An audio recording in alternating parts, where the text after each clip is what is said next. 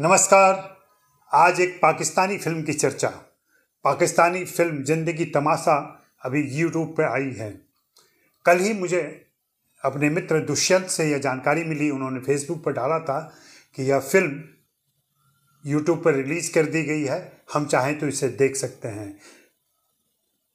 मैं आपको बताऊँ कि समरंद खुसट की यह फ़िल्म 2019 में विभिन्न पुरस्कारों से नवाजी जा चुकी है। लेकिन पाकिस्तान में इसके रिलीज़ पर पाबंदी लग गई, जबकि वहाँ के सेंसर बोर्ड तीन तीन सेंसर बोर्ड ने इसे मंजूरी दी थी रिलीज़ की।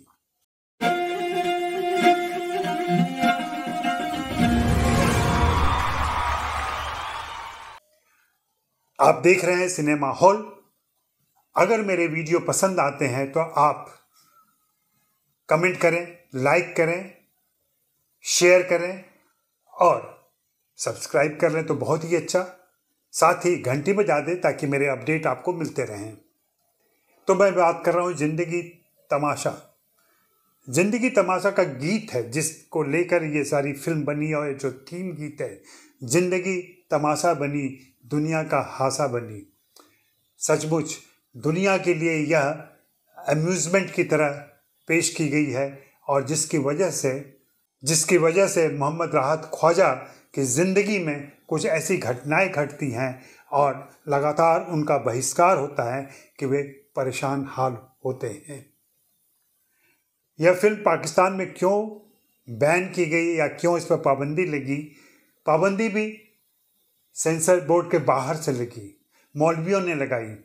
उन्हें बात पसंद नहीं आई फ़िल्म की, फ़िल्म के कंटेंट में जो दो चार ऐसे डायलॉग हैं जो उन्हें पसंद नहीं आए और जिसकी वजह से उन्होंने यह हंगामा किया कि अगर यह फ़िल्म रिलीज़ की गई तो वे सड़कों पर उतर आएँगे और कुछ भी कर सकते हैं। लिहाजा पाकिस्तान में फ़िल्म पर पाबंदी लगा दी गई और फ़िल्म रिलीज़ नहीं हो पाई। दुष्यंत ने बताया था कि वे अपने फ़िल्म फेस्टिवल में इसको लाना चाहते थे। बातचीत भी हो गई थी समरंद खुसट से, लेकिन अगेन वो अंग्रेज़ों के द्वारा खींची गई जो एक रेखा है जिसकी वजह से भारत और पाकिस्तान बने। उसकी कई अड़चने हैं। उन अड़चनों में से एक अड़चन की वजह से दुष्यंत यह फ़िल्म नहीं दिखा सके। और यह फ़िल्म अब यूट्यूब पर आई है, जहाँ समृद्ध खूसट ने लगभग ढाई मिनट इस फ़िल्म के बारे में बताया है, क्यों ऐसा हुआ और अब कैसे वे दिल पर पत्थर रख के इस फ़िल्म को यूट्यूब पर रिलीज़ कर रहे हैं। हाँ अगर आप उनकी मदद करना चाहते हैं तो बीमियो पर जाकर के देख सकते हैं इस फ़िल्म को। वहाँ वीडियो ऑन डिमांड पर यह फ़िल्म उपलब्ध है, जहाँ आप अपनी मर्ज़ी से कुछ पैसे भी दे सकते हैं।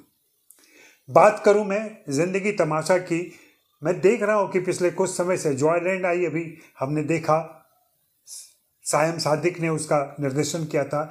यहाँ पे सायम सादिक इस फ़िल्म के टीम बी के डायरेक्टर हैं और उनका सहयोग रहा है इस फ़िल्म के निर्माण में भी।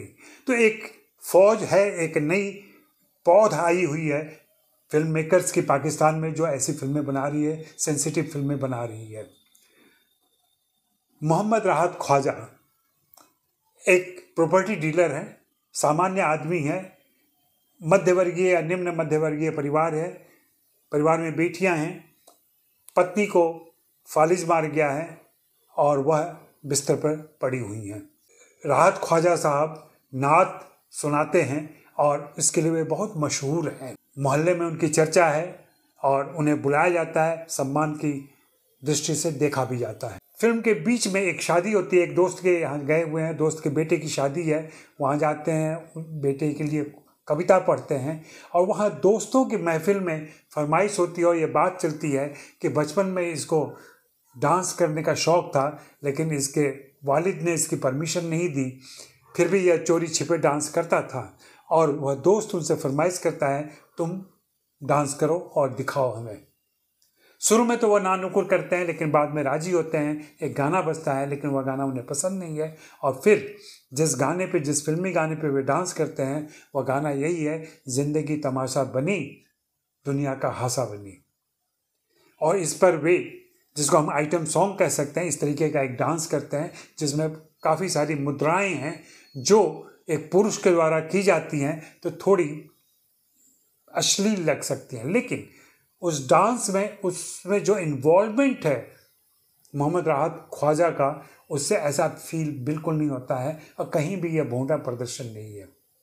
इस तरीके से बात आती है, लेकिन एक युवक वहाँ वो वीडियो बना रहा है और वो वीडियो वायरल हो जाता है। वायरल होने के बाद से सबसे पहले फ़िल्म के अंदर उनकी बेटी देखती है और वह गम में चली जाती है, वह दुखी हो जाती है। अपने खाविन से वह कहती है बात दोनों बात करते हैं, पूछते हैं, ख्वाजा साहब से कि ऐसा क्यों हुआ? वे उसे बहुत मामूली तौर पर लेते हैं। कहते हैं कि मैंने तो दोस्त की शादी में डांस किया था, किसी ने वीडियो बनाया, डाल दिया, इसमें कौन सी बड़ी बात है? वो इसे कहीं से भी अपराध नहीं मानते हैं या ऐसा नहीं मानते कि रसूल के खिलाफ उन्होंने कुछ कर दिया है। लेकिन बात बिगड़ती चली जाती है, उनके मीम बनाए जाते हैं, उन पर तंज कसे जाते हैं, उनका सामाजिक बहिष्कार किया जाता है। बात यहाँ तक पहुँचती है कि एक खास त्यौहार के मौके पर जब वे पराठा और हलवा बनाकर बांटने जाते हैं तो कोई उनके हाथों से स्वीकार नहीं करता है। दुख होता है और उसके बाद एक फ़ंक्शन में जब वह नाच सुनाने के लिए जाते हैं तो वहाँ कोई उन्हें एंट्री तक नहीं देता है। बीच में एक प्रसंग आया है। जब उनके दामाद कोशिश करते हैं कि एक मौलवी को बुला के ले आते हैं, काजी को बुला के ले आते हैं, और कहते हैं कि तुम तो माफ़ीनामा पढ़ दो। कह दो कि मुझसे ये गलती हो गई है, कबीरा गलती हो गई है। तुम पढ़ दोगे, लोग माफ़ कर देंगे। वहाँ वे पढ़ते भी हैं। लेकिन जिस ढंग से काजी उन पर हावी होता है और बताता है कि नहीं, तुम फ़लस्तीन के फेवर में भी बोलो, अमेरिका के ख़िलाफ़ बोलो और फिर अपने अंदर ये पैदा करो कि तुमसे बहुत भारी गलती हुई है।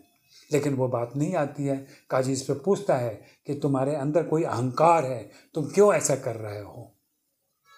इस बात पर वे नाराज़ हो जाते हैं और वे काजी पर बोलते हैं, उस पर तोहमत लगाते हैं कि तुम जो अपने मदरसे में बच्चाबाजी करते हो और तुम जो चंदे के पैसे से अपना मकान खड़ा करते हो, वो क्या वो वाजिब बात है? दोनों में बकझक होती है, मारपीट होती है और फिर मामला यहाँ से बिगड़ता चला जाता है और काजी ने वह साजिश की है जिससे वह नाप ना गा सकें। और यही फ़िल्म का क्लाइमैक्स है, जिस दुख में, जिस पीड़ा में उनकी बीवी की डेथ हो जाती है, बेटी फिर भी माफ़ नहीं करती है। बेटी को लगता है कि उसके अब्बा को ये काम नहीं करना चाहिए था। समाज में उनकी एक खास इज़्ज़त थी, उस इज़्ज़त को उन्होंने गंवा दिया है उस डांस करने से, एक मामूली से डांस से।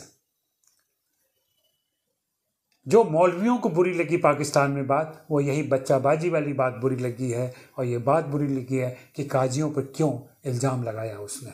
और इन दो पंक्तियों की वजह से यह फ़िल्म पाकिस्तान में रिलीज़ नहीं हो पाई। तो लगभग एक ही हालत है, भारत हो या पाकिस्तान, दोनों जगह समाज में ऐसे तत्व मौजूद हैं जो धर्म, मज़हब और दूसरे सांप्रदायिक मामलों की वजह से फ़िल्मों पर आपत्ति उठाते हैं और अभिव्यक्ति की आज़ादी को रोकते हैं। इस फ़िल्म को आप ज़रूर देखिए, अपनी नज़र से देखिए। हाँ फ़िल्म में एक खोट मुझे नज़र आया, मोहम्मद राहत ख्वाजा को जब एक समलैंगिक गतिविधि का पता चलता है तो वे उसकी शिकायत करते हैं पुलिस में। मुझे नहीं लगता है कि यह उनके लिए ज़रूरी था और फ़िल्म के प्रसंग में इसका लाना ज़रूरी था, लेकिन हो सकता है यह उनके व्यक्तित्व का अंतर विरोध हो, जिसको निर्देशक सामने लाना चाहते हो। आप बताएँ, फ़िल्म देखने के बाद यहाँ दर्ज करें कि आपको फ़िल्म कैसी लगी। शुक्रिया, मेहरबानी, धन्यवाद। देखते रहें सिनेमा हॉल।